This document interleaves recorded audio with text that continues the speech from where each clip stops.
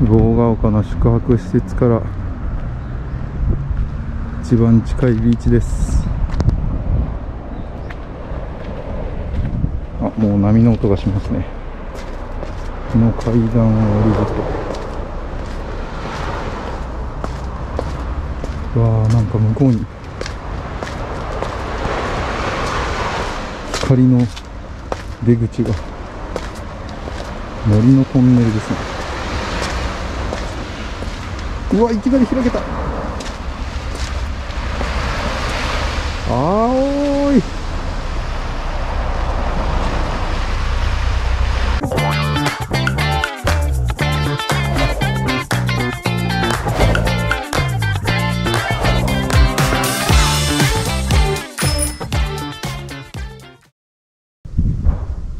いやもう南国雰囲気バリバリ。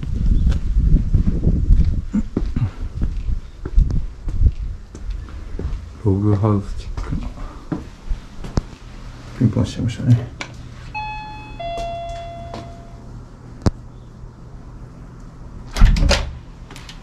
こんにちはあよろしくお願いしますー、弁当です。お願いしますはい、どうぞ。ああ、どうぞ。はい、ありがとうございます。あはい。今日のコンシェル様書いてくださってますね。ありがとうございます。うおー中が色。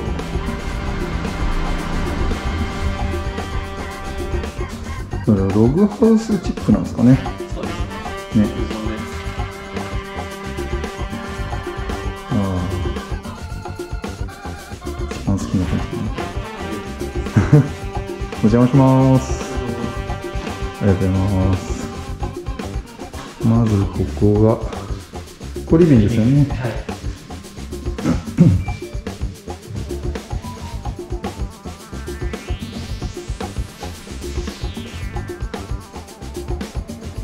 全体で何人ぐらい泊まれるところなんですか？そうですね。六から八ぐらいが一番。6からかな。8で、奥に部屋が。はい。あ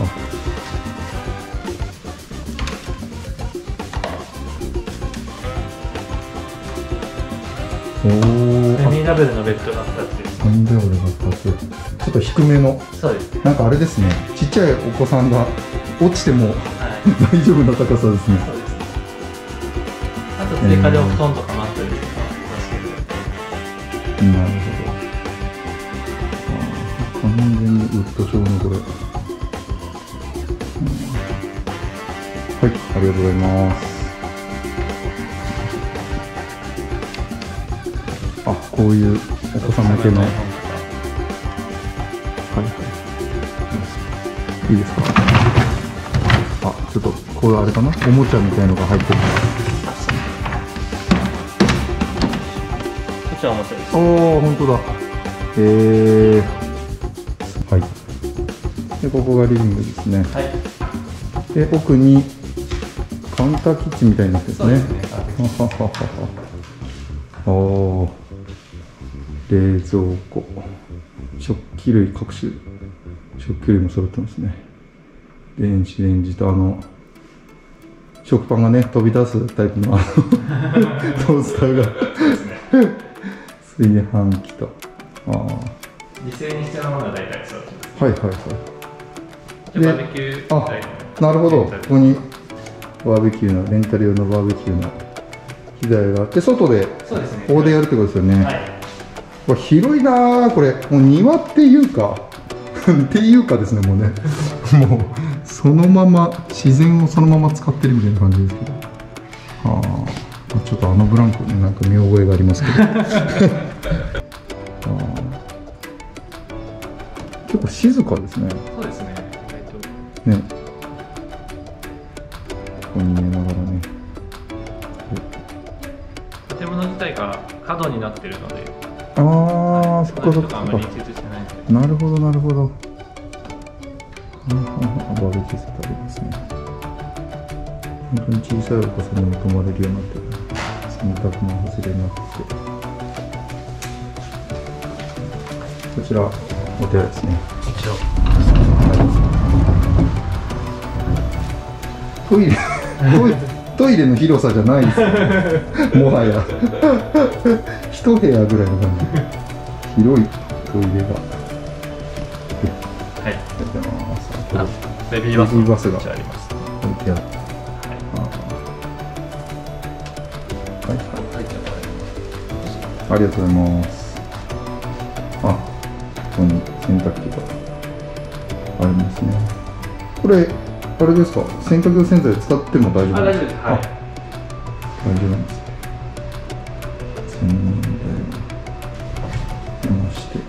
あ、水回りが綺麗ですね。アメニティが。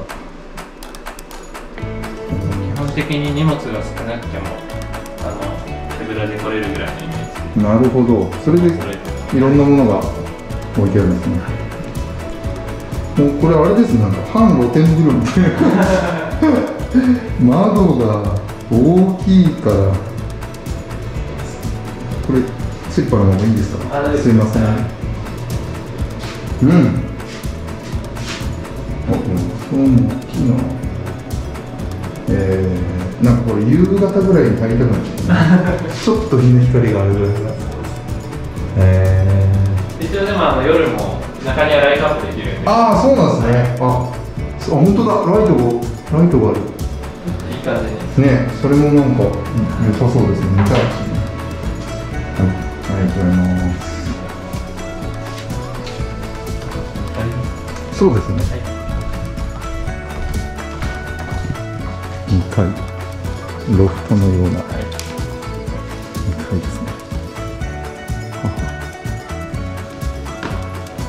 このね上から下が覗けるっていうのはやっぱいいですよね。他のところにもこのような上に下がああ上にねこうやって布団を敷いて。こちらまだ追加できるので、はい。なんいくつぐらい？えっと最大上で4つ、4つ。はい。はははは。で下でベッドプラス寝具2つとか追加できる。はは8名とかいけます。なるほど。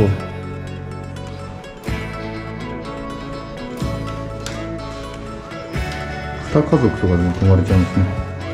一応吹き抜けになってるんですけど、はい。ここに隠し扉があります。あなるほどちらまで行くので、はいはいはい。パンとしてみたいなと。あーあここまで来るんですか？ここまで。はいはいはい。ああ本当だ。あレールが本当だ。ありますね。へえわ本当だ。あなんか全然雰囲気変わりますね。一気に部屋感が。本当だ。一気に部屋感が出たおお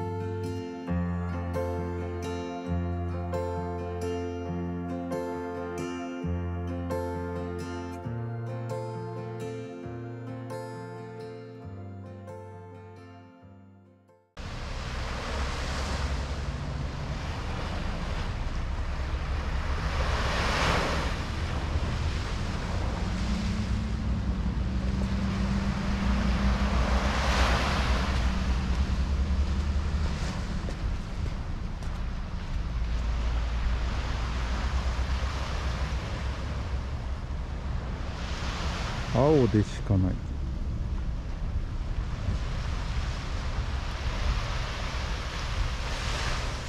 すごい青さだな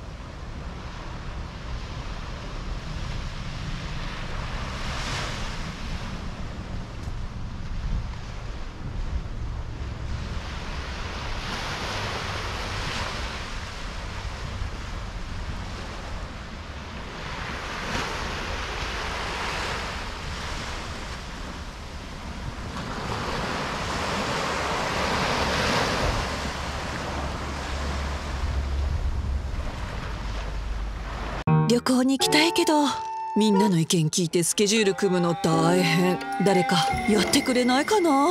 そんな時にはリトルコンシェル。交通ホテルアクティビティなどあなたにフィットした旅をオーダーメイド。